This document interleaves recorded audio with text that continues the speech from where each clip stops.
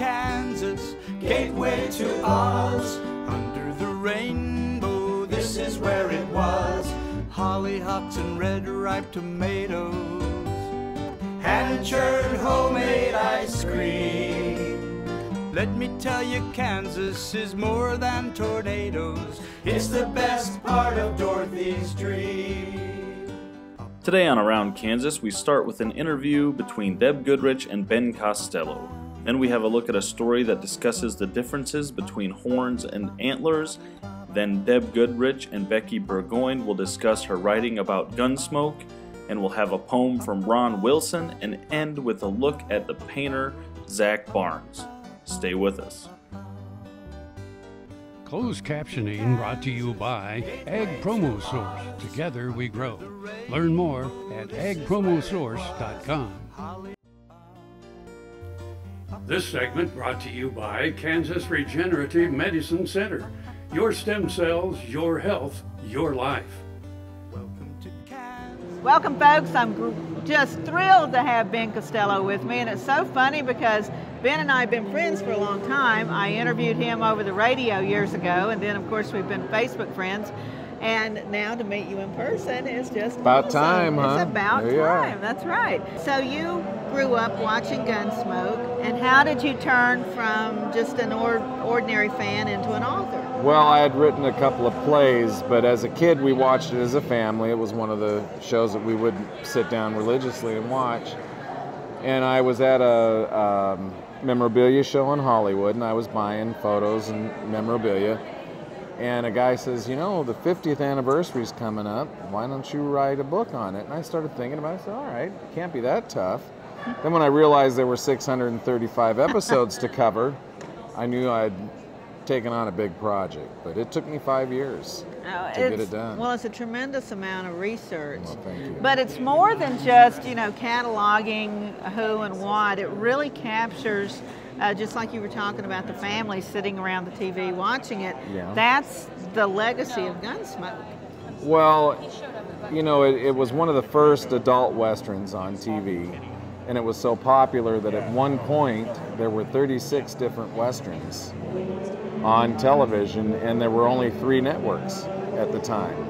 You know, the kids today, there's two or three hundred channels. Right. They wouldn't have a you know clue that we only had three back then, and then a couple of local stations. You know, but Sure. but it's America's mythology, you know, the West. And um, Gunsmoke had the benefit of having the best talent in front of the camera and behind it also. The writers, the directors, The producers. writers were amazing. Uh, yeah. amazing. Jim Byrnes was one of the best writers. He, he did the introduction for my book. And, Ah. uh, they, and Sam Peckinpah, who was a legendary director, started out as a writer with Gunsmoke and The Rifleman and a couple other shows. So they had the best of the best. They absolutely did. And I was telling somebody today, you know, to um, Kansas could not have had a better ambassador to the world than this show.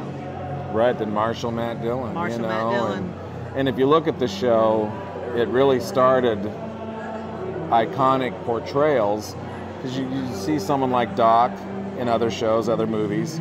You'd see a Miss Kitty type of person, and of course you'd see the big lawman. But it all started really with Gunsmoke, you know. So, what has getting involved in this meant to you personally in your life? Well, it changed my life for the better. Um, a lot of the people that I interviewed are still my friends today, 10, 12, 15 years later. Um, and some of the meanest, rottenest people on screen are the biggest cupcakes you'd ever want to meet. You know, teddy bears like Morgan Woodward. Scared the heck out of me as a kid, but meeting him, he's just the nicest guy in the world, and he, to this day, still calls my son every once in a while, check on him. How are you doing, Eddie? You know, you don't hear that with stars and stuff like that today. And we don't really have the stable of actors that they had back then, the good character actors. Yeah. We don't have them. You know, it was it was a magical era, and everything clicked. Everything hit right at the right time. Absolutely. Yeah. And it's uh, the only other show other than I Love Lucy that's never left the air since its premiere. Amazing. It's, it's unbelievable. Amazing. And 20 seasons, unbelievable. Well, Ben, thanks so much. Thank it was you, great Deb. to visit with you. You got to have the book. Thank you. Stay tuned. Thank you.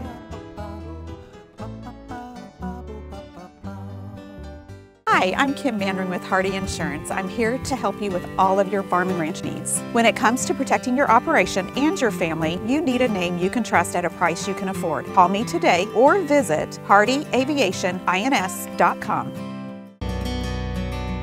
Nevermore do you walk the earth, his spirit rides here still. Roman knows the wild wind blows, Roman knows your legend grows. No one knows if we'll see your lights again.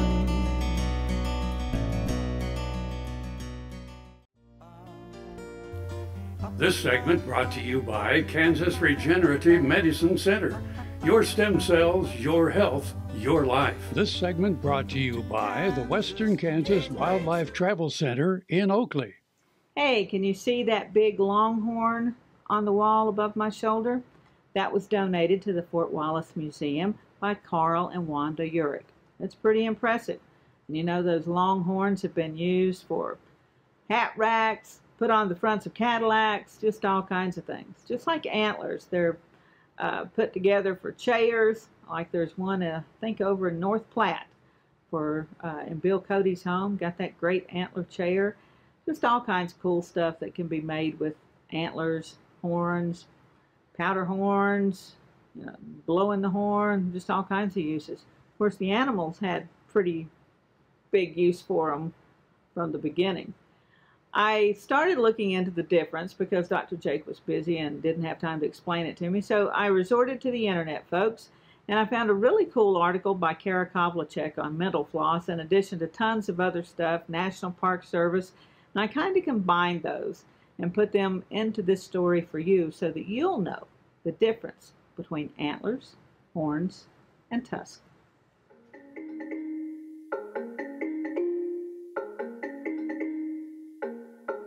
Have you ever wondered what the difference is between horns and antlers?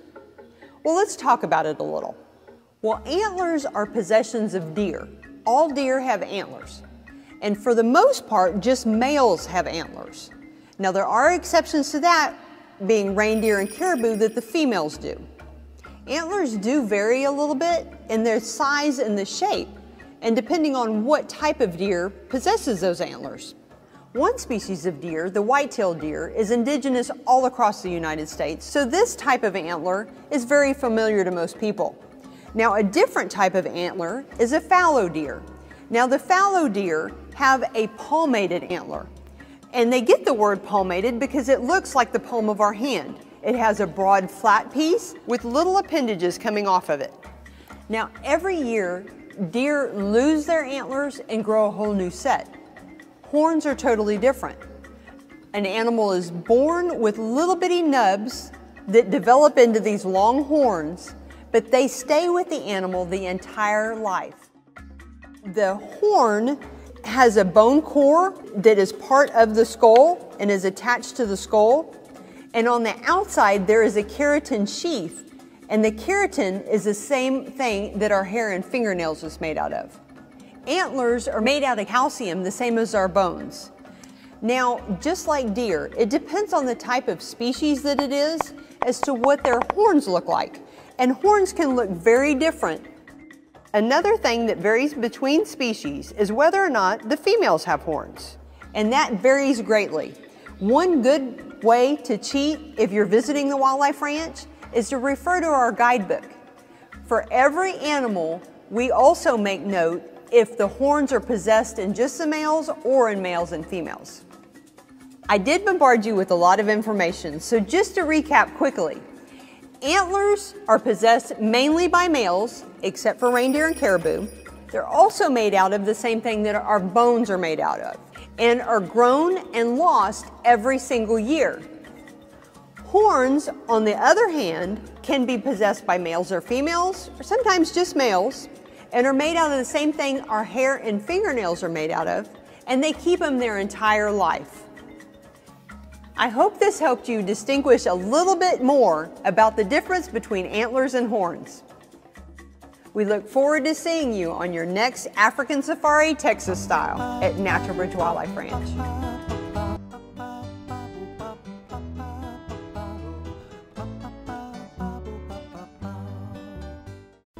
Valley Vet Supply is devoted to providing information and professional quality products at reasonable prices. ValleyVet.com, Valley Vet Supply.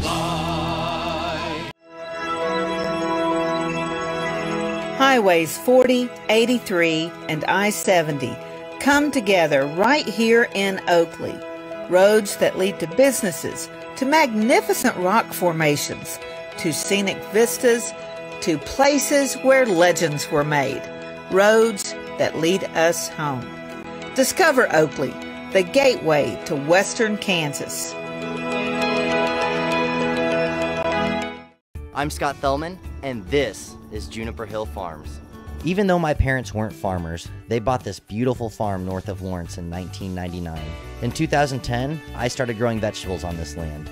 Today, Juniper Hill Farm sells produce to wholesalers, grocers, and restaurants, and is focused on growing high quality food that everyone can afford. Watch my story and the stories of other young Kansas food producers at kansaslivingmagazine.com slash meet a farmer. The land here tells a story. It offers up fossils of extinct beasts, ruins of native villages, farmsteads, and battlegrounds. Walk the shore of historic Scott Lake and imagine the native peoples on the hillsides above you. Listen, you can hear their voices on the wind. Discover the secrets of Scott County on the ground where history happened, or in the comfort of the El Cuartelejo Museum and the Jerry Thomas Gallery. I promise you will find an amazing story. Tarwater Farm and Home is a 40 year old local family owned business. Clothing for work and play, seeds and feeds, boots, toys for the kids, and tools you'll need for around the house and farm. And a service department to keep them in top running order. It's a big store, so take some time to see what they have for your farm and home. Tarwater's everyday pricing is like others' sale prices. When you need it, they've got it. Tarwater Farm and Home, 4107 North Topeka Boulevard. This segment brought to you by the Western Kansas Wildlife Travel Center in Oakley. Welcome, folks. We're visiting with Becky Burgoyne, who is the biographer of Amanda Blake. And of course, all you Gunsmoke fans know her as Miss Kitty. So, Becky, it's great to have you with us today. Thank you. It's wonderful to be here and in Dodge City, In Kansas. Dodge City. Isn't this great? This For a is wonderful. Gunsmoke fan, it doesn't get any better. So, how did you become interested in? Obviously, there are a lot of fans that don't go as far as writing a biography. Yes, um, I've loved her since I was about 11 or 12 and always followed Gunsmoke. And then when she suddenly passed away, I, I woke up one morning and said, hmm, I need to write her story. I, I just, it just came out of the blue. And then I called, I knew her manager, and after I called, I said, I would like to write her story. She said, don't worry, a couple of people are going to do that. So I waited about 15, 20 years and no one ever did. And it came to me one time, I should try to do it. So, so you always follow your heart. You always follow that dream no matter how strange it is. Yep. So uh, a, you know, a school teacher from Covington, Indiana, in the middle of both coasts, in the middle of the country. Um, I had to fly East Coast, West Coast to gather all the information on Amanda. took three years of research, and we've made some wonderful friends along the way. And it's just been a dream come true. So, tell me what's the most remarkable thing about Amanda Blake? The most remarkable thing about Amanda Blake is she was honest. She was honest to herself. She was feisty. Um, and what you saw was what you got. She never thought herself to be the star, even though she was. And she greeted everyone um, warmly. She had that wonderful, loving spirit of the Gunsmoke family. We mm-hmm. find with those that are still alive Right. from the Gunsmoke family. Right. You know, Miss Kitty was a businesswoman. She was unique in women on TV at the time. She was, and I find that fascinating. I, I mean, she was independent. You know, Matt Dillon and her couldn't get married because it would ruin the whole plot of the Dynamic, show. So yeah. the dynamics would be gone, and they couldn't have Matt Dillon's woman be just a woman for everybody working sure. working in the saloon. So they had to become a businesswoman. And Amanda liked that. She said Kitty was a lot stronger than her. In reality, they, she wasn't, but but um, she really loved being that first businesswoman to look up to. And a friend of Amanda's once asked her, um, there's a couple years before she passed away, she says, okay, so just what was it that you liked about being on Gunsmoke for, for 20 years? And she says, are you kidding, honey? I was queen of the Long Branch. Just like that. And she was. She was their queen. Wow. Something we all aspire to. Yes. well, she she did it and she did it beautifully and yeah, so thanks for joining us. All right, thank you and thanks for having me. I love it here in Dodge City, Kansas. We love having you. Thank you. Stay tuned.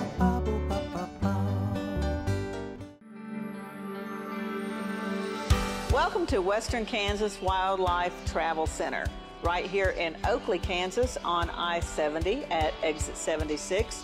I-70, after all, is America's Main Street, and we're right here on Main Street for you. Now that I'm an Oakley resident, I still come in almost every day, and I sit and listen to the conversations of the people around me you know, the guys who are talking about the big elk they just bagged, or the folks who are taking their kid to college for the first time. People just traveling up and down the highway. Real people, just like you and me. And they find just what I find here real people to serve them. There's history, there's scenery. We hope you'll stop and see us soon. Welcome to Oakley.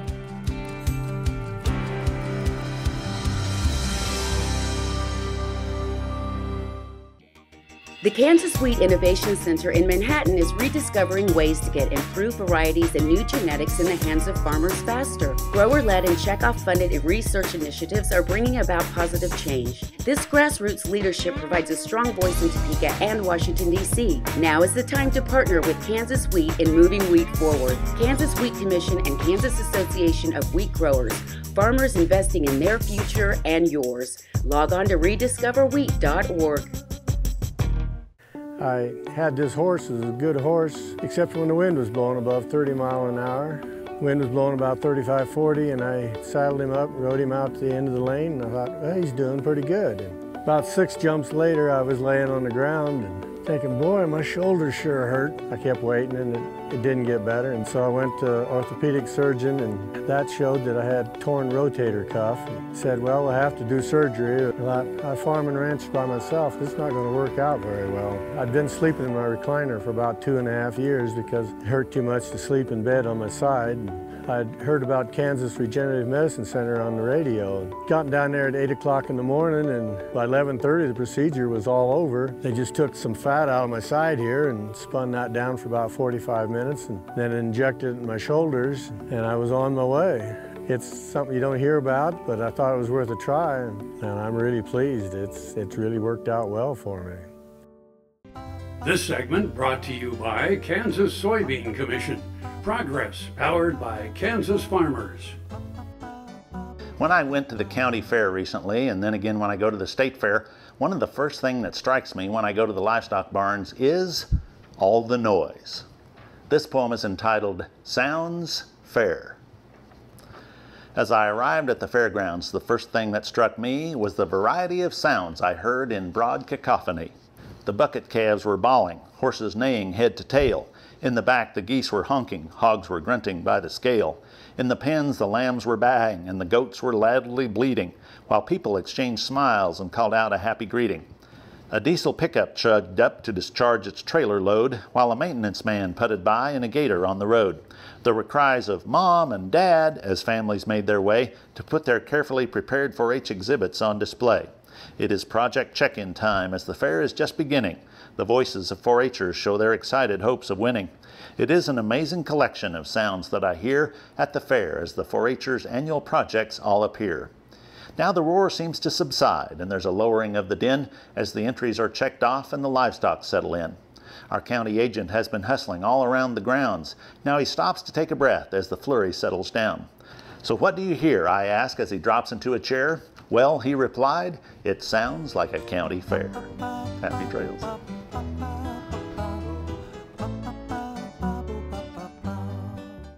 Sure Crop Fertilizers was started by my father, Don Sherman, and my mother, Shirley Sherman. Family business that started in the 80s.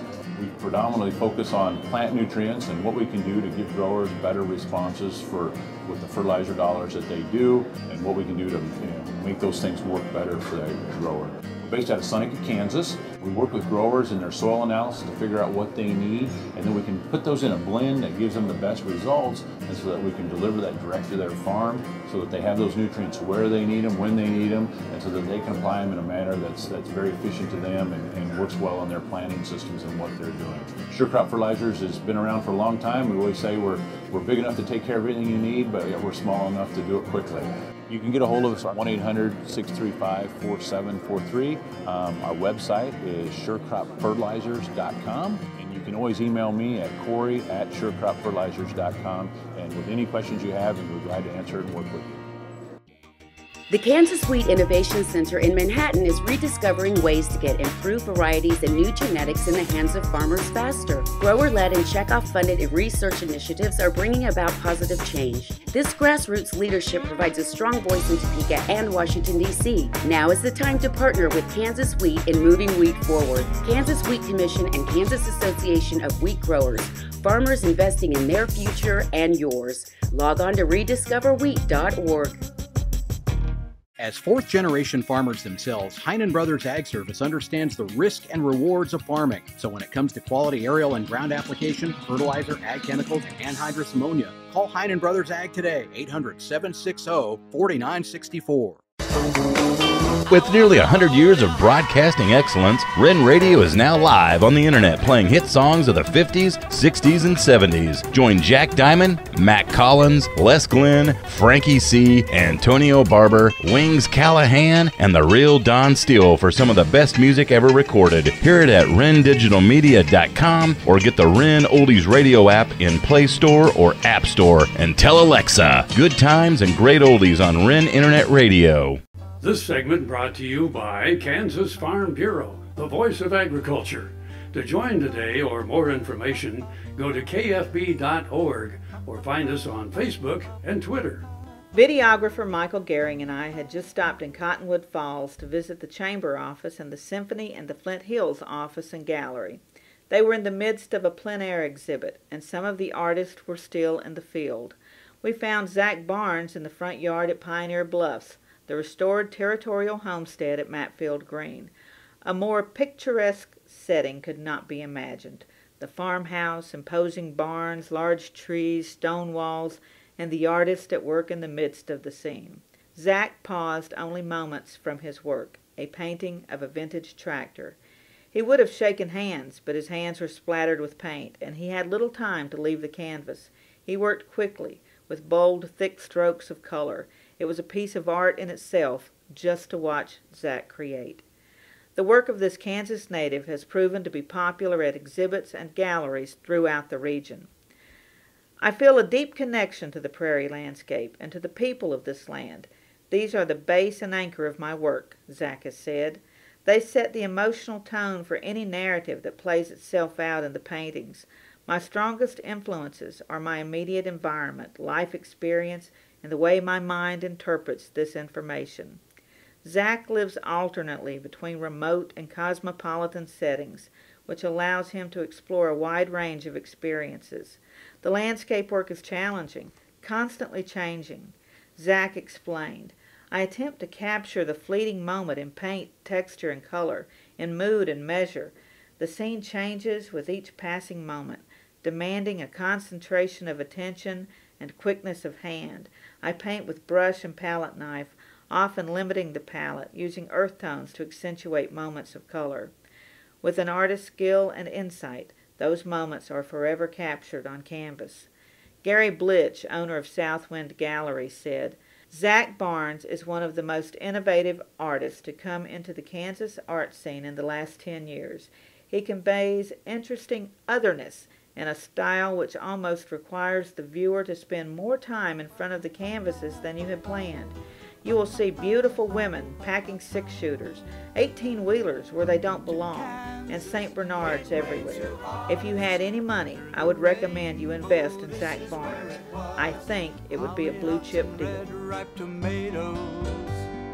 Closed captioning brought to you by Ag Promo Source. Together we grow. Learn more at agpromosource.com. We're the best part of Dorothy's dream.